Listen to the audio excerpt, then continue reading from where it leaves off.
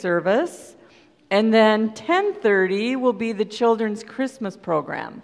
So two different services. You can certainly come to both next week. They'll be completely different. But 8:30 healing service, 10:30 the linked children's Christmas program. And then also, because it is that big day with our children's ministry, there will be a bake sale in between services. And that the monies raised from that will be used to send our kids to Bible camp. So come prepared to buy some goodies um, and support our youth going to Bible camp. Okay, so in our prayers today, we'll continue to pray for those on our list, but we do have one other announcement. So, Mike, would you stand up? Tomorrow, Mike Kastner turns 76, and he said that before worship, so happy birthday, Mike.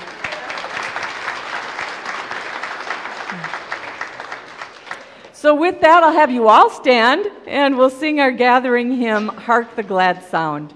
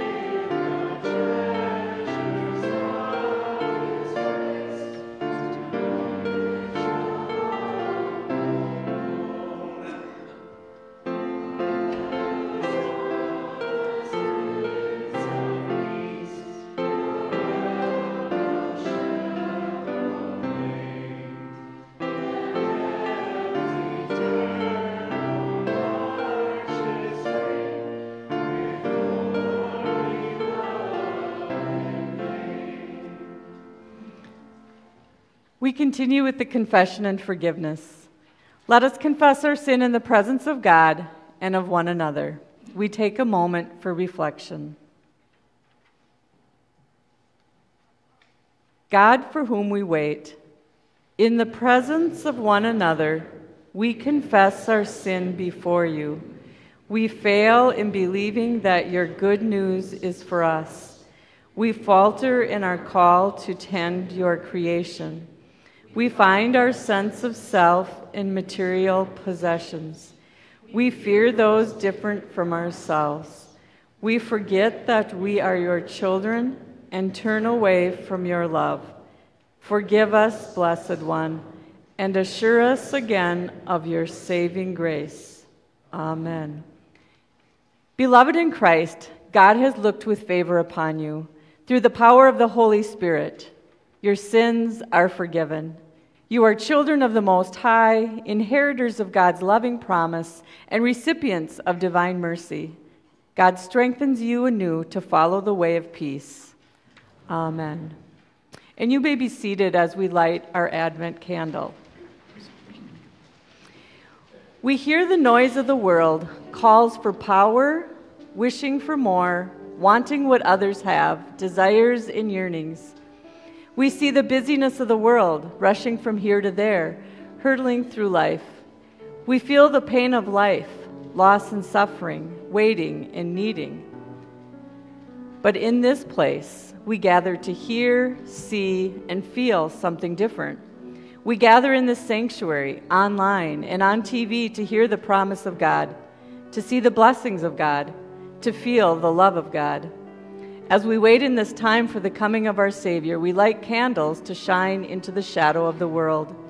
These candles shine forth as the light of God, illuminating our lives and bringing us peace. Let us wait for our salvation with the light of God. We pray together.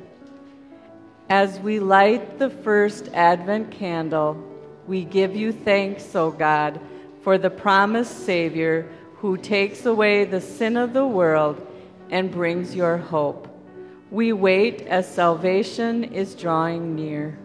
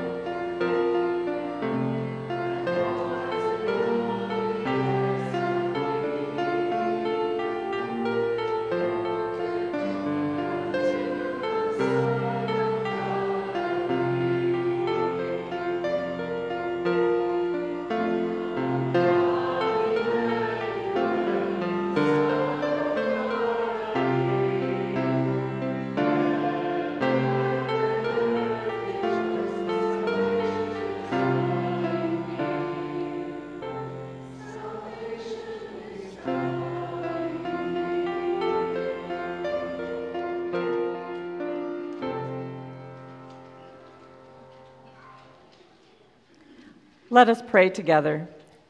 Stir up your power, Lord Christ, and come. By your merciful protection, awaken us to the threatening dangers of our sins and keep us blameless until the coming of your new day. For you live and reign with the Father and the Holy Spirit, one God, now and forever. Amen. Thank you to our bell choir for special music today.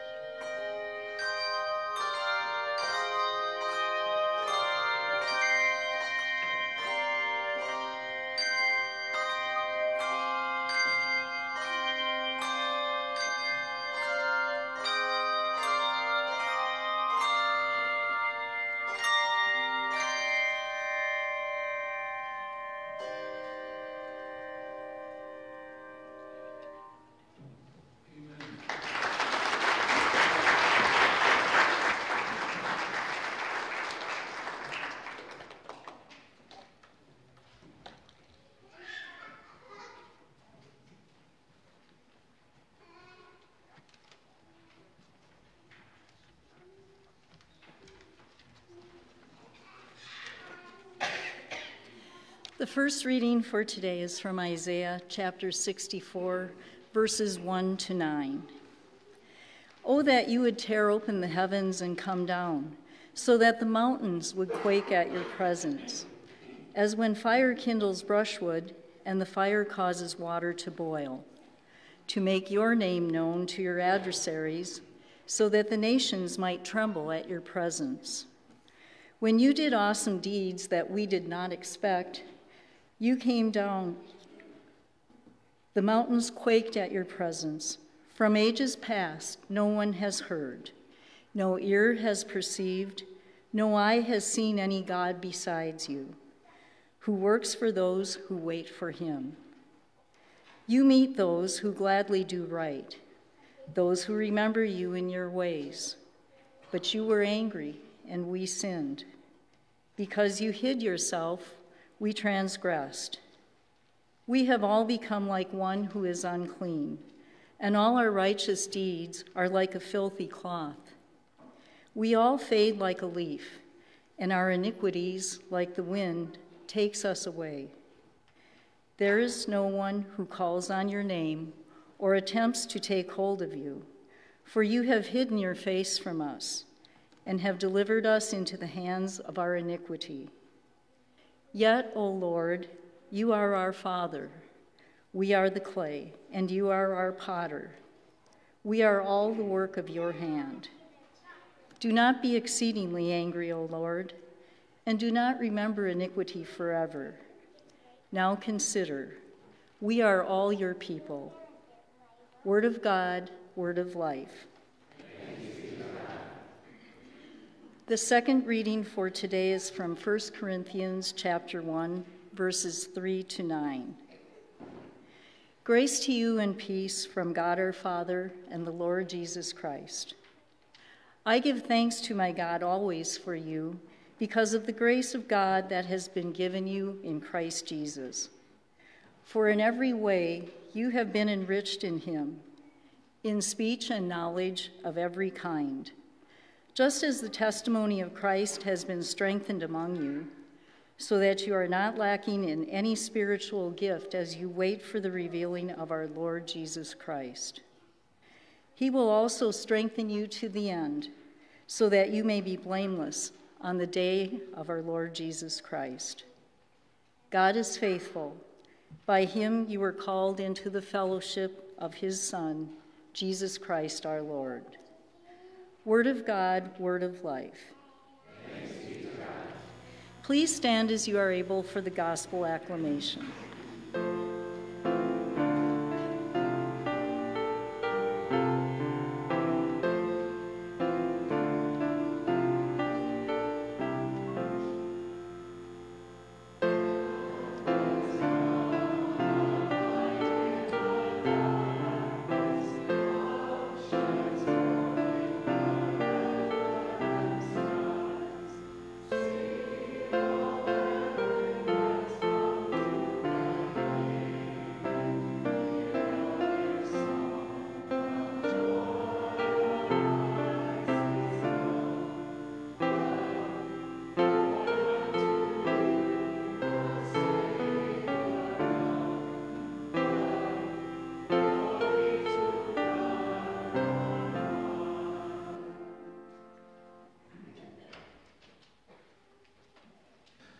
The Holy Gospel according to Mark chapter 13.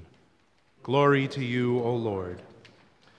Jesus said, In those days after that suffering, the sun will be darkened and the moon will not give its light, and the stars will be falling from heaven, and the powers of the heavens will be shaken.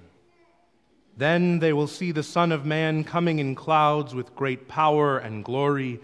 Then he will send out the angels and gather his elect from the four winds, from the ends of the earth to the ends of heaven. From the fig tree, learn its lesson.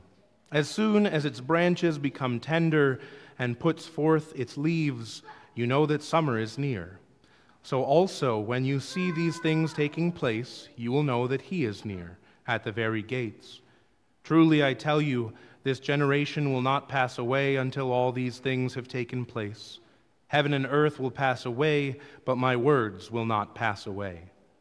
But about that day or hour no one knows, neither the angels in heaven nor the Son, but only the Father. Beware, keep alert, for you do not know when the time will come. It is like a man going on a journey when he leaves home and puts his slaves in charge, each with his work, and commands the doorkeeper to be on the watch. Therefore, keep awake, for you do not know when the master of the house will come in the evening, or at midnight, or at cockcrow, or at dawn. Or else he may find you asleep when he comes suddenly. And what I say to you, I say to all keep awake. The gospel of the Lord. Praise to you, O Christ. Please be seated, and I'd like to invite the kids up for a children's message. Hey, Eloise, I'm going to have you sit out here, okay? Can you sit right here? Sit on the ground right here. Can you sit out here so then we can look up at the altar? How about you sit down on the ground over here and then you can look up at the altar? Okay, well, that went well. How's it going, you guys? Good? Well, are you excited? Because now it's Christmas, right? Is, is it Christmas yet? Did, did Christmas happen yet? Did you guys open your Christmas presents? No, it's like 23 days till Christmas. It's like 23 days till Christmas. At least no one's keeping track. Woo! I like it. No, it's not Christmas yet, but it's we're getting closer to Christmas. And so we have these beautiful candles up here. These are our Advent candles. And we lit one this morning for the first Sunday of Advent. So then after that, it's Christmas, right? Fine. Then we'll light the second candle, and then it's Christmas. No. We'll light the third one, and then it's Christmas. No. We'll light the fourth one, and then it's Christmas. Oh. We'll light the one in the middle, and then it's Christmas. Yeah, that's the one. That's the one. So we have to wait and wait and wait. But in the meantime, we light more candles, and it gets brighter and brighter and brighter because the days are getting shorter and shorter, but we see that the light is changing. When we talk about light in the church, we're talking about Jesus. So we see more and more light because Jesus is on his way. So let's say a word of prayer. Repeat after me. Holy God, thank you for this time. Help us to be patient as we wait the 23 days for Christmas. Amen. Thanks for coming up, you guys. You can head back to your seats.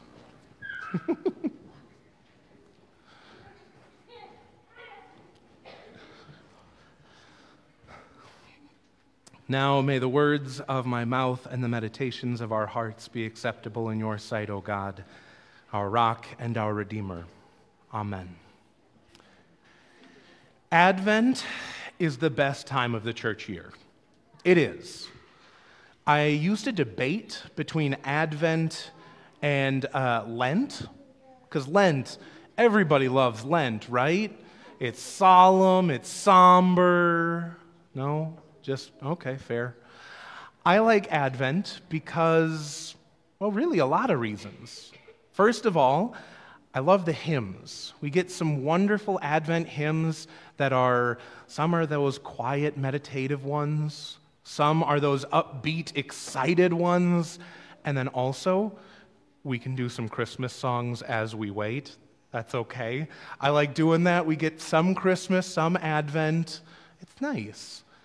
I also like Advent because it's a bit of a break in the church year. It's the, the first or the beginning of the church year, but also it's a time to slow down as everything ramps up. As everything gets busy, Advent is a time to take a breath, to relax, to prepare, to be in the presence of God. But also, I love Advent because I am terrible at Advent. Advent is about waiting and waiting and waiting. And I am about as good at waiting as a preschooler is. Uh, I'm sure some of you have heard the, uh, the marshmallow experiment that happened years and years ago. There was a, a group, uh, a group that brought together preschoolers and kindergartners, and they said, You can eat this marshmallow right now, or if you wait three minutes, you'll get three marshmallows. And all of the kids were like, Why would I wait? There's a marshmallow right here. I'm the same way. I, I struggle to wait, and you can ask my wife. She gets so sick of me around this topic because, like, she'll ask, What do you want for Christmas? or What do you want for your birthday? And I'll tell her, and then I'll go out and buy the thing I just told her I wanted. It's very frustrating. Or, like, she'll she'll ask what I want. I'll say, "Oh, I want a sweater." And she'll go and she'll say, "Oh, I got you a sweater." And I'll say, "Where is it?" And she says, "Wait for Christmas." And I say, "No, no, cuz like I like wearing sweaters and I think that'd be really nice and it's kind of a cold day, so I'll wear that sweater today, right? Yeah?" And she looks at me like you look at a puppy. Just come on, be a little bit patient. And it's funny because I'm trying to teach this to my kids, but how do you teach something that you're so bad at? It's a struggle. But that's why I love Advent, because it teaches me that slowing down is important in this time. That waiting in this time is useful for us. It's powerful. So, I have a linguistic hook for you. And for the first time in my years of preaching, this is the first time that I am not using Greek, Latin, or Hebrew. I know this is a living language that I'm talking about Spanish. I was talking with a buddy today, uh, a couple days ago, and he was talking about a church that's just down the road from his, uh, that his church is partnering with. It's a Spanish speaking congregation called Iglesia Esperanza. And that sounds really lovely. And he asked me, Do you know what Esperanza means? And I said, I remember that it was a vocab word back in seventh grade. And that's all I had. I couldn't remember what it meant. So he told me it says, uh, it means hope, church of hope. That's beautiful. Everything we do in the church circles back to hope, to our faith, to looking, for, uh, looking forward to what God is doing, teaching us, guiding us. It's, it's a wonderful word. So then he said, there is a verb that it comes from, esperar. Do you know what that means?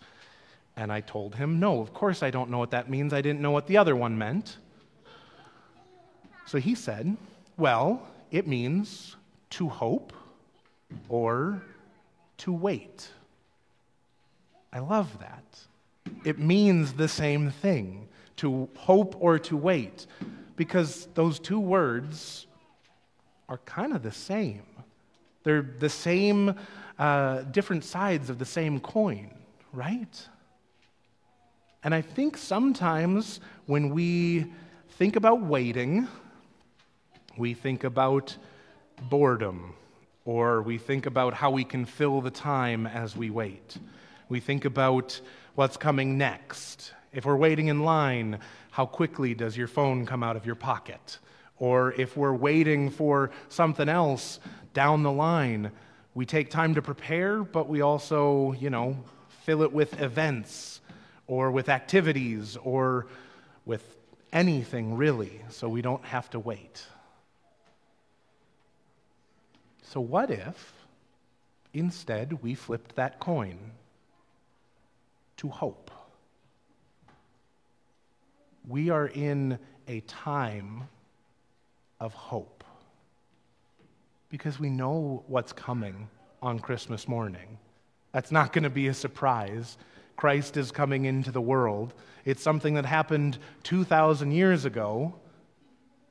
but we're still hoping for what that means. We're hoping for the return of Christ. We're hoping for uh, what God is doing in the world. We're hoping for what God is doing through us. We're hoping and hoping and hoping. And in that time, we wait together. We watch as the candlelight grows. We wait and we hope. We hope and we wait. We esperamos. That is what the life of the church centers around in this season the promise of what God is doing, and the promise that we are a part of that. So, in this time, prepare.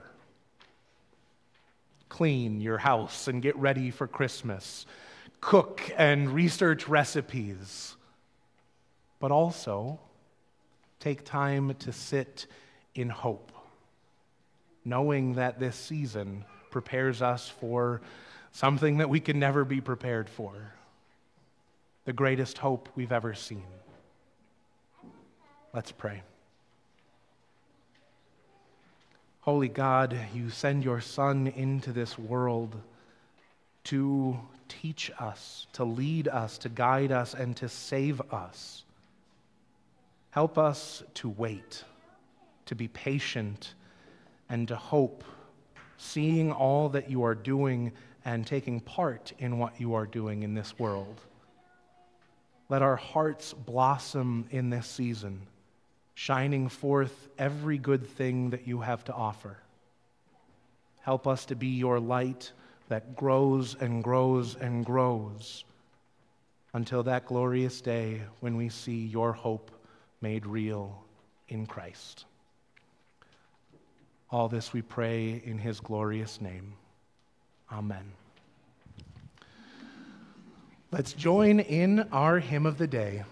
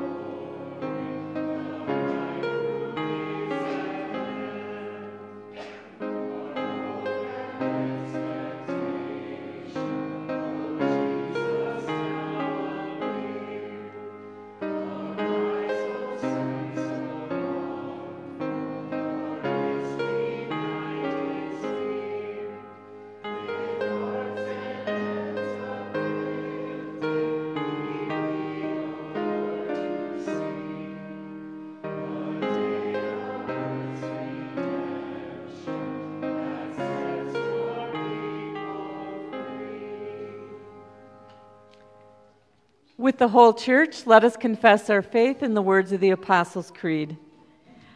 I believe in God the Father Almighty, creator of heaven and earth.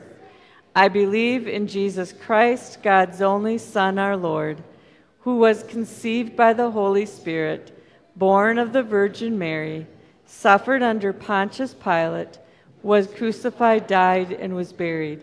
He descended to the dead. On the third day, he rose again. He ascended into heaven. He is seated at the right hand of the Father, and he will come to judge the living and the dead. I believe in the Holy Spirit, the holy Catholic Church, the communion of saints, the forgiveness of sins, the resurrection of the body, and the life everlasting.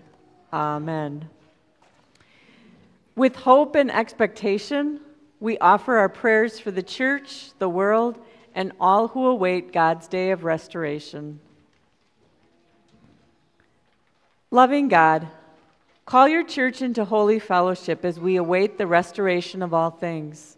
Re energize your faithful people to live with hope and compassion. Center us on your promise to come among us and make all things new. We give thanks today for the birth and baptism of Elizabeth. Bless her family with love for one another and you. Guide her parents, sponsors, and this congregation to live out the promises that we have made to her and to all the children of our church. Give us courage to share the gifts you have given us. Lord, in your mercy, let the nations tremble at your holy presence, that justice and liberation prevail in all corners of the earth. Restore peace to nations in conflict. Teach righteousness to corrupt leaders and systems and bring stability to areas facing uncertain futures. We pray especially for those in the Middle East and in Ukraine. Lord, in your mercy, enrich the spirits of all who feel hopeless, fearful, or despairing. Stay close to those who await healing or relief, especially Audrey, Russ, Eloise, Dixie, Marge, Xavier, Brenda, Brad, Nicole, Marilyn, Sharon, Joyce, Ken, Lyndon, Mavis, Dave, Tracy, George, Carol, Pam, Sharon, Gabrielle, Joanne, Ruth, and those we name out loud or in the silence of our hearts. Deliver all in any need. Lord, in your mercy, be with those who keep awake at night, nurses working overnight shifts caregivers of newborns and aging adults, those who are anxious or those who are traveling. Reveal to all that the dark can be a place of calm and comfort filled with your presence. Lord, in your mercy, listen to these prayers and all our prayers, O God of hosts, and restore us with your great and everlasting mercy. Amen. The peace of the Lord be with you. Let us share a word or sign of God's peace with one another. Peace be with you, Jody.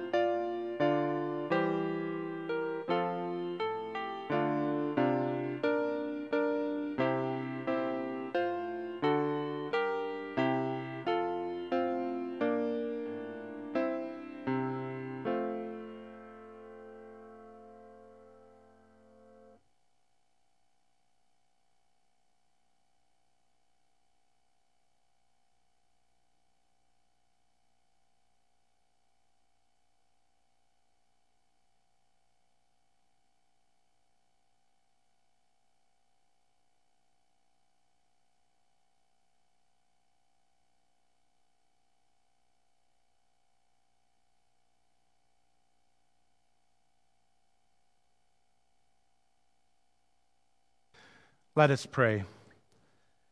God, our provider, by your merciful hand, abundance springs up from the earth. Receive and bless these gifts that we return to you. Let them be a sign of your steadfast love and faithfulness for all people.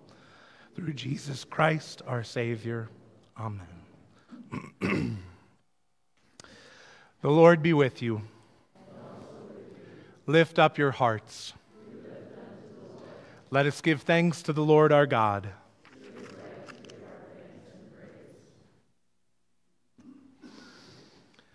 We remember on the night in which he was betrayed, our Lord Jesus took bread, gave thanks, and broke it, giving it to his disciples, saying, Take and eat. This is my body given for you. Do this for the remembrance of me. Again, after supper, Christ took the cup, gave thanks, and gave it for all to drink, saying, This cup is the New Testament in my blood, shed for you and for all people for the forgiveness of sins. Do this for the remembrance of me. Lord, remember us in your kingdom and teach us to pray. Our Father in heaven, hallowed be your name. Your kingdom come, your will be done, on earth as in heaven. Give us today our daily bread. Forgive us our sins as we forgive those who sin against us. Save us from the time of trial and deliver us from evil. For the kingdom, the power, and the glory are yours, now and forever. Amen. Please be seated. This morning for communion, we'll have our ushers release you row by row, and you can come forward and stand along this tan line. Uh, you'll receive a piece of bread or a gluten free wafer upon request, and once you've eaten that, you'll receive a glass of wine or of grape juice. And then our acolytes will come around with a basket where you can place your empty cup. This is the meal that Christ has prepared for us. In this season, it is food for the journey as we wait and wonder and see also how we hope. So come, all are welcome.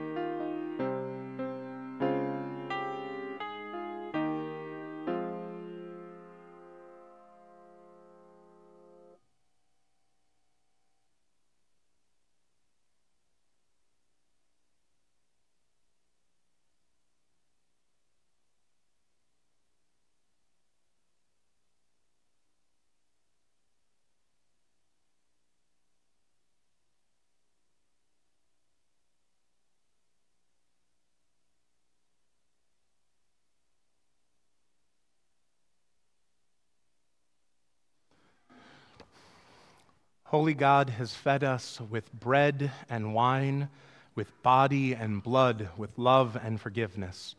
May it strengthen us for all of our days to come and keep us growing in the joy of the Lord. Amen.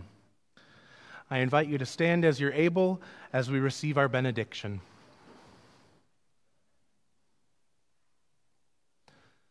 May the Lord bless you and keep you. May the Lord's face shine upon you with grace and mercy. May the Lord look upon you with favor and give you peace. In the name of the Father, and of the Son, and of the Holy Spirit. Amen. We'll join in our sending hymn, Comfort, Comfort Now, My People.